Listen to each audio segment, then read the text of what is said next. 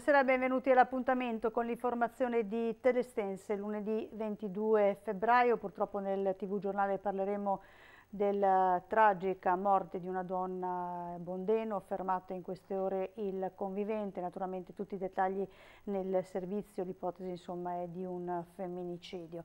E poi naturalmente il punto per quanto riguarda il Covid, il bollettino, e, mh, aumentano i nuovi casi, insomma vedremo qual è la situazione a Ferrara e eh, provincia, mentre arriva anche un nuovo decreto siglato proprio oggi che dice ancora una volta stop agli spostamenti tra le regioni fino al prossimo 27 marzo. Poi naturalmente parleremo anche di cronaca cittadina, eh, faremo il punto anche sul Covid tra l'altro oggi in Ferrara Fiere è, il, cioè, è cominciato eh, la vaccinazione di massa anti-Covid e andremo a vedere com'è andata. Allora, eh, ci spostiamo a Bondeno perché esattamente a Borgo San Giovanni questa mattina una cinquantenne, Rossella Placati, è stata trovata morta nella propria abitazione colpita alla testa da un corpo contundente. Sotto interrogatorio c'è il compagno, il convivente della donna, l'ipotesi è quella di omicidio, è stato lo stesso compagno che questa mattina si è recato in caserma dicendo di aver trovato la compagna in, um, appunto morta nel bagno. Sentiamo.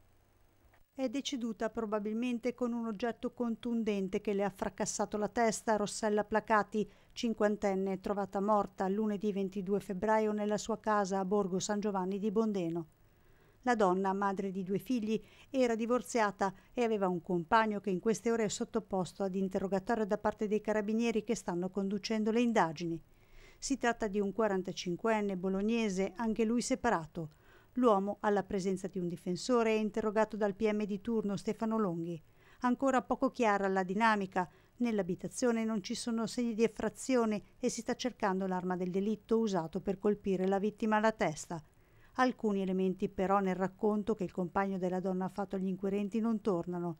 L'uomo avrebbe detto di essere andato via la sera precedente dopo un litigio e di essere tornato la mattina del lunedì e di aver trovato la donna riversa nel bagno.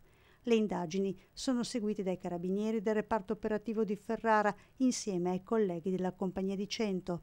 Incredulo, un grave lutto per la nostra comunità, un evento che tocca profondamente la sensibilità di tutti noi, ha detto il sindaco di Bondeno Simone Saletti. Attendiamo di capire esattamente la dinamica, siamo vicini ai figli e alle sorelle della vittima, una delle quali conosciuta e stimata in paese per essere un'attiva volontaria di un'associazione in difesa degli animali, ha concluso il primo cittadino di Bondeno.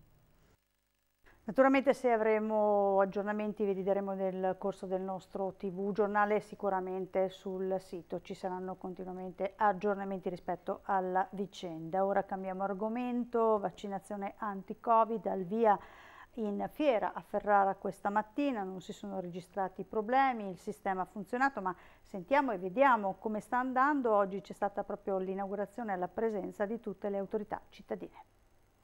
È entrata ufficialmente nel vivo la campagna vaccinale nel Ferrarese con l'apertura dell'hub in fiera questo è il centro vaccinale anti-Covid più grande sul territorio estense. Qui a pieno regime dovrebbero essere effettuate circa metà delle vaccinazioni complessive di tutto il Ferrarese. Tutto questo se non ci saranno intoppi con l'arrivo delle forniture delle dosi. Al momento le forniture sarebbero abbastanza regolari. Intanto però sono già arrivate mille dosi in meno di AstraZeneca nel Ferrarese, dove secondo l'azienda USL scenderanno in campo anche i medici di famiglia per le somministrazioni agli insegnanti. Comunque a pieno regime nei 16 box in fiera, attivi 12 ore al giorno, l'obiettivo è di arrivare a quota circa 2000 somministrazioni al giorno. In totale nel Ferrarese si punta alle 4000 dosi somministrate al giorno. Si è aperta la fiera qui a Ferrara, è solo l'inizio eh, di un percorso che vedrà anche la realizzazione di altre tre sedi a Cento, a Codigoro e ad Argenta, chiaramente più piccole ma con lo stesso eh, concetto. Questi spazi così ampi ci hanno permesso di andare a definire in modo corretto tutto il percorso a partire dall'ingresso con il triage, quindi il rilascio eh, di eh, un fogliettino con dentro eh, il numero eh, che corrisponde al nome della persona che ha preso appuntamento, eh, un'ampia e delle ampie aree di attesa per la persona che attraverso degli schermi eh, può essere chiamata, viene chiamata rispetto al numero di cui è in possesso e quindi si reca all'interno di quello che è eh, la sede, eh, la prima postazione medica che fa l'anamnesi o recepisce l'anamnesi e il consenso e quindi fa una prima valutazione, quindi il box con la vaccinazione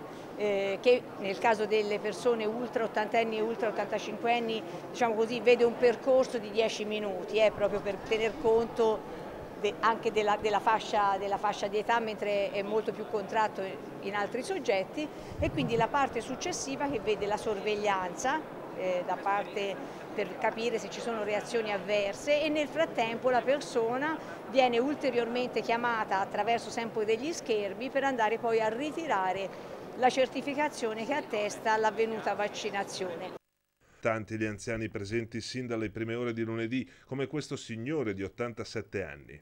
Contento di essere qua, beh, per il vaccino sì. Non vedevo l'ora.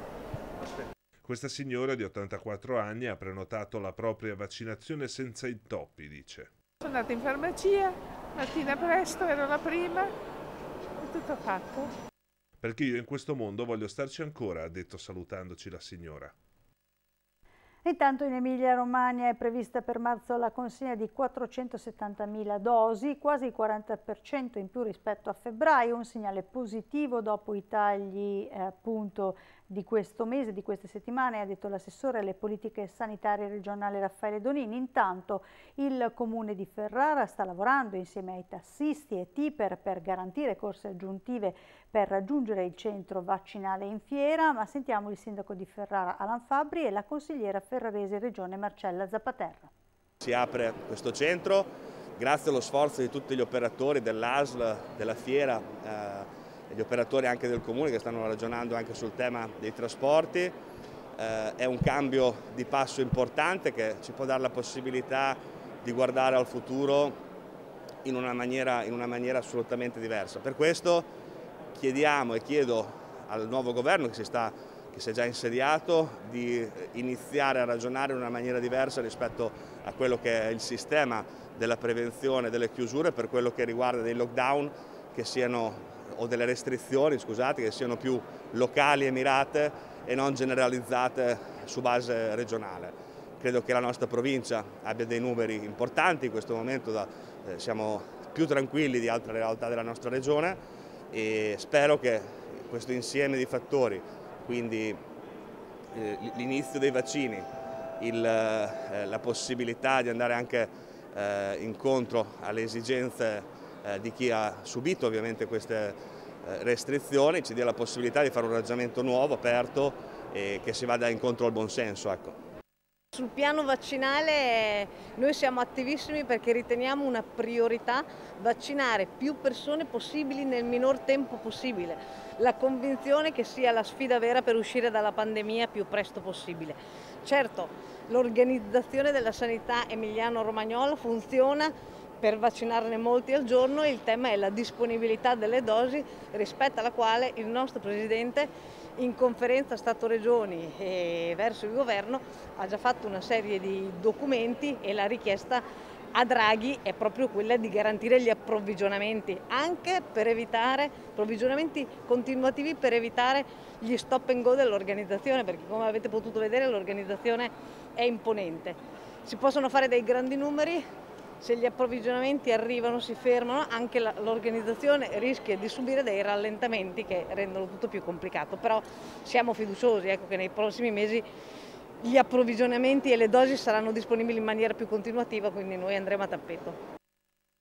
Ora il bollettino in peggioramento rispetto a ieri, i dati odierni del, per quanto riguarda la presenza del Covid-19 nel Ferrarese, due nuovi decessi dopo la tregua di domenica si tratta di due donne di 91 anni alle quali si aggiungono altri 21 decessi nel resto dell'Emilia Romagna. Anche i ricoveri in terapia intensiva sono in aumento. Tornano a riempirsi i reparti Covid degli ospedali ferraresi che ricoverano i pazienti affetti dal virus, soprattutto al Sant'Anna di Ferraracona dove l'occupazione dei posti letto passa dal 79 all'82% in 24 ore. Crescono anche i nuovi positivi nel territorio, 124 i nuovi contagi, ieri lo ricordiamo erano 74. Eh, lunedì 47 ferraresi sono guariti dal Covid, pochi di più rispetto al dato di domenica a livello regionale.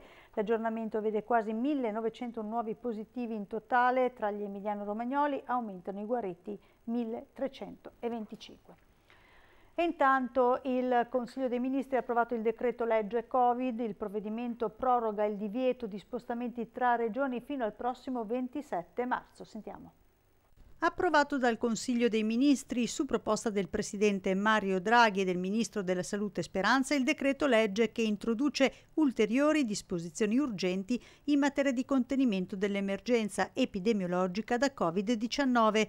Il decreto dispone la prosecuzione fino al 27 marzo 2021 su tutto il territorio nazionale del divieto di spostarsi tra diverse regioni o province autonome, salvi gli spostamenti motivati da comprovate esigenze lavorative o situazioni di necessità o motivi di salute resta comunque consentito il rientro alla propria residenza, domicilio o abitazione.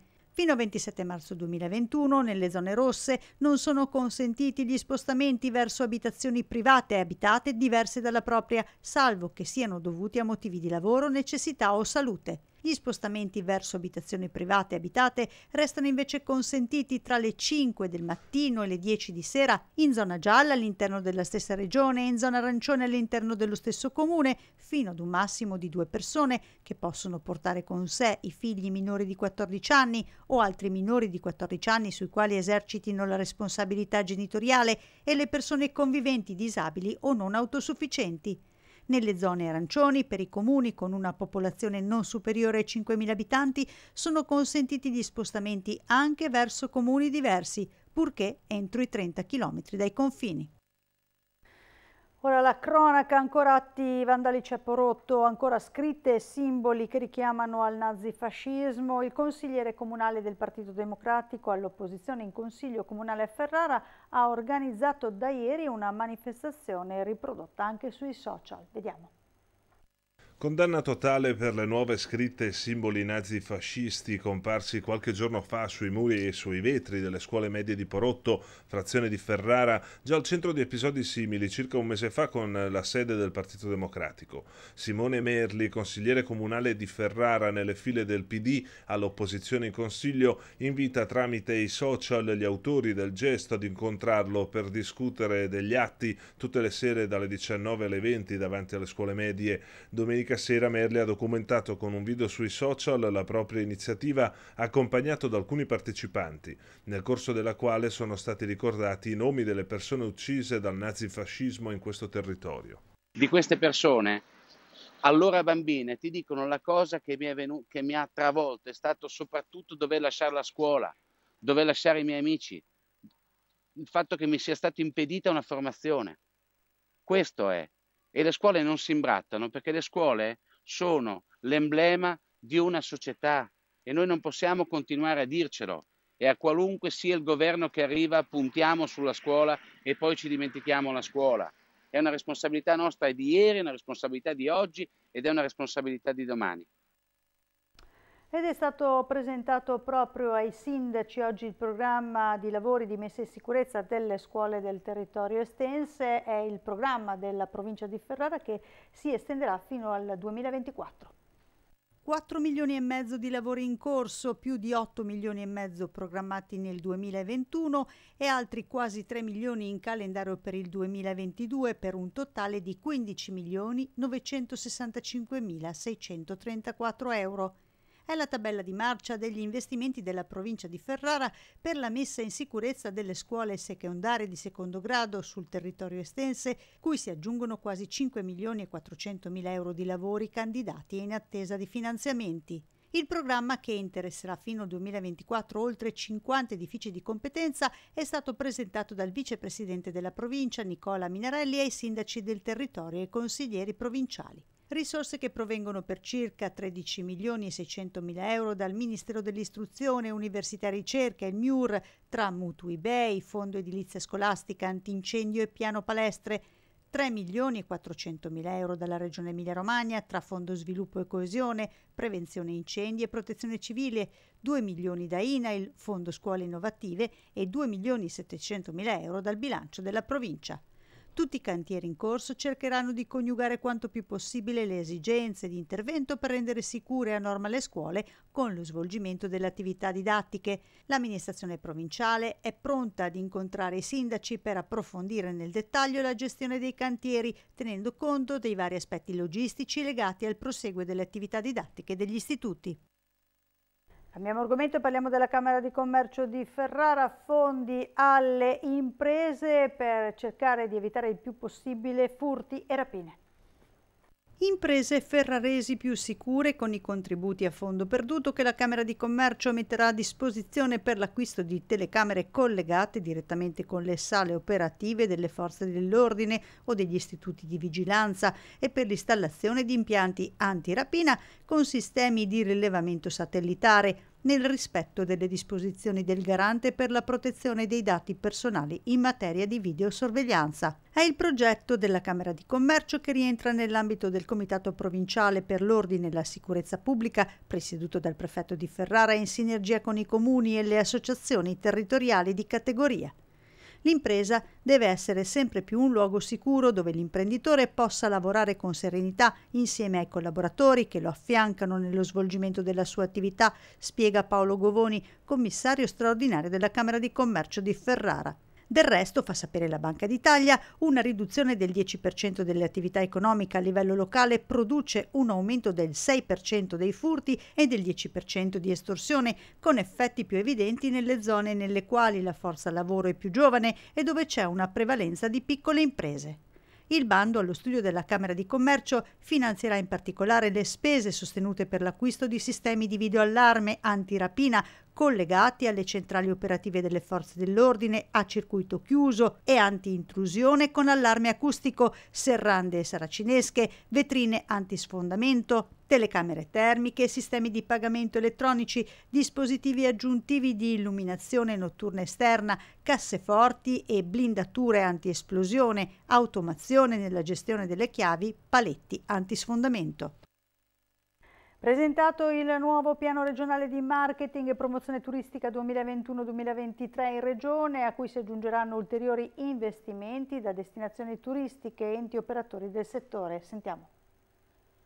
Diciamo che non è solo per l'estate, ma è un piano di marketing naturalmente che riguarda tutti i prodotti, tutte le destinazioni, quindi abbraccia tutto l'arco dell'anno. Le parole chiave possono essere quelle sicurezza, eh, vacanza attiva, eh, sport, wellness e soprattutto i grandi prodotti internazionali come la Motor Valley, come la Food Valley, come appunto la Wellness Valley che rappresentano nostri, diciamo, le nostre frecce nell'arco della promozione turistica con un investimento di 10 milioni all'anno per tre anni quindi eh, diciamo che ci attrezziamo per eh, eh, far tornare l'Emilia Romagna una delle più grandi destinazioni turistiche d'Italia e d'Europa dopo eh, l'emergenza sanitaria.